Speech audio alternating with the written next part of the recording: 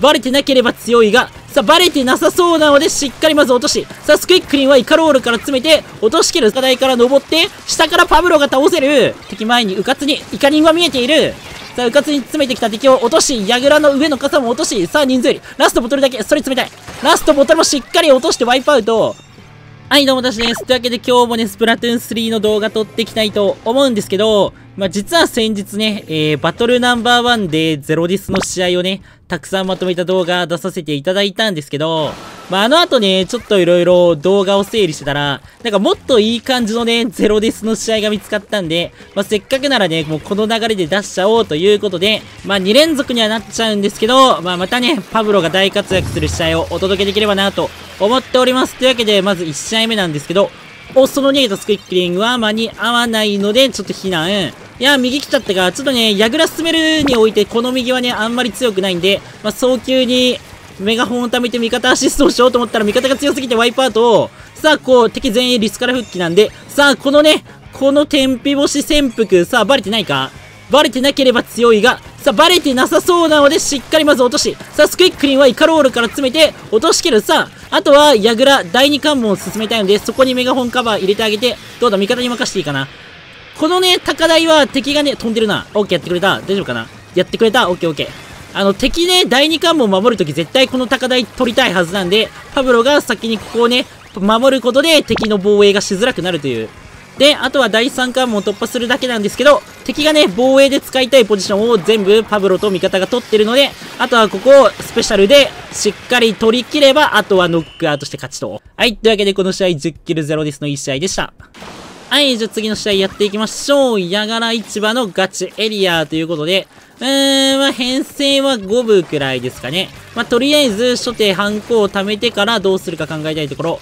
さあ、ちょっと塗りが味方と被っちゃった。おお、いきなり詰めてきたんで、それはカバー入って2キロ入った。これ2キロ入ったんで前に詰めて3キロ目を取りに行きたい。さあ、カニがいるが、ここはハンコでカニをしっかり落として味方がやってくれたんで、自分はこっちに逃げたのを家紋をして味方と一緒にしっかり落としていく。これで敵一瞬ワイパーですね。その上にそうなのは当たんないか。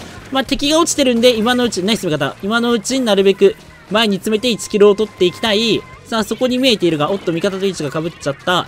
さあ、お、敵がうかつに詰めてきたんで、それはしっかり落とし、前に詰めて、そこにはいないか。さあ、敵が食ワンダー使ったんで、その終わりを狩ろうと思ったけど、味方がやってくれた。敵に落ちてまだ有利で、残り2枚そこですね。残り2枚に1メーターでしっかり後ろからカバー入れて、右奥なら味方に任せて良さそうなんで、このね、うかつに前に出てきた敵を落として、さあ、右にまだ見えている。これ、ハンコが溜まるんで、どうだ？さあ、ここの正面を味方が見てくれそうなんで、自分は右を注意しつつ、さあ、右に2枚いますね。さあ、その北斎、ハンコで、や、やれないか、これ。ハンコで、ハンコで、逃げるな逃げるな、ハンコでしっかり落として、あと右奥にいるのは分かってるんで、右奥にカバー行ってあげたい。センサーつけてくれたんで、それもしっかりカバー入って、あとはエリアを塗り切れば、勝ちと。はい、というわけで、この試合9キル0ですの1試合でした。はい、じゃあ次の試合は、えー、草屋温泉のガチヤグラーということで、うーん、まあ、編成はほぼ五分ですね。まあ、ローラーがいるので気をつけたいところ。まあ、まず初動はね、メガホンを貯めて、このメガホンから有利を取りたかったんだけど、味方に落ちしちゃった。ちょっとメガホンに合わせて詰めたかったけど、厳しいか、ローラーにボムが当たんない。ちょっとこれ人数不利ないや、来ないか、ローラー。人数不利なんで、無茶せず、なんとかラインキープだけしたい。さあ、この潜伏バレているかどうか。敵トルネ吐いた。敵前に、うかつに、イカリンは見えている。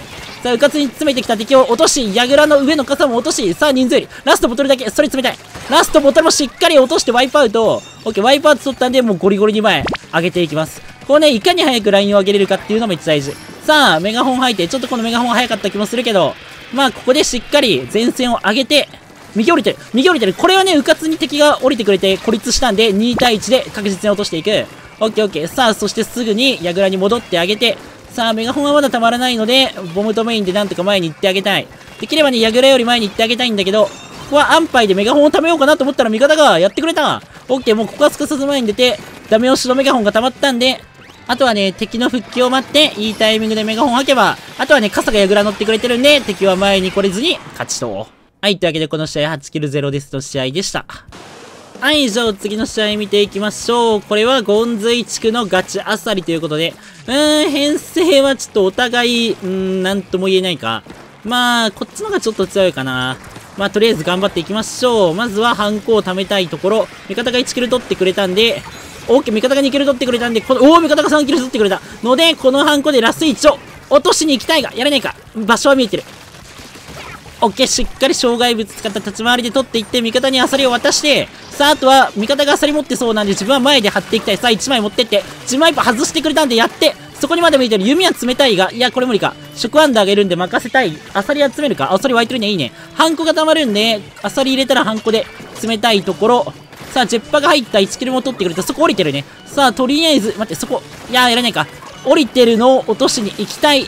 オッケー、しっかり取って、そこも当ててる。ダメージ当ってるんで味方カバー入った。さあ、あとは、どうだ？アサリはないか。味方がアサリ探してくれてるんで、自分はなるべく前を張りたい。さあ、降りてきてるのをしっかり落として、さあ、もう前々で、あと、アサリあるんで、味方。前々で塗り作ってハンコが溜まるんで、それでラストのダメ押しをしたら、あとは味方が入れてくれて、勝ちと。はい、というわけで6キル0ですの試合でした。はい、じゃあ最後の試合やっていきましょう。最後は金目大美術館のガチヤグラということで、うん、編成は、うん、まあこっちがリッター対スクイークのリッター引けてるんで、まあまあ悪くはないかな。さあ、味方が1キル取ってくれた。さあ、そこはしっかり味方のカバー行って、さあ、敵に落ち、3落ち、敵さん落ち、あとスクイックリンだけ。スクイックリンの位置メガホンで確認して、スクイックリンにはね、有利取れるんで確実に詰めてキルを取っていきます。このスキックリンをね、逃がすと敵がね、そこにジャンプしてきちゃったりするんで、まあ、できれば確実に落としたいですね。さあ、なんか味方やられて戻ったけど、まあ、大丈夫そうかな。さあ、トルに入ってくれた。さあ、オッケー、2落ちか。こっちに落ちなんで、うかつに前には行かず、潜伏から1枚持っていきたいが、どうださあ、センサーついちゃったんで、ちょっと下がりつつ、メガホンね、待って、降りた。その降りたのはやるか。待って、そっちも降りてる。これはスケックルには有利取れるんで、確実に落として、なんか味方が3キル取ってくれた。あと、ブラスターいる？ブラスターは味方に任せていいか。いる？オッケー、やってくれた。これで3キル。あと、ジムワイパーだけなんで、位置を確認しつつ自分が前に出てあげる。リッターが多分乗ってくれそう。さあ、そこにいるのは見えている。さあ、そこには、この高台から登って、下からパブロが倒せる。さあ、どこいる？あと。あそこにスクイックに行けど、まあ、それはやってくれるでしょう。メガホンがすぐ溜まるんで、最後にダメ押しのメガホン吐いて、打ってあげれば、ナイス勝利と。はい、というわけで、この試合も7キル0実のいい試合でした。終わり。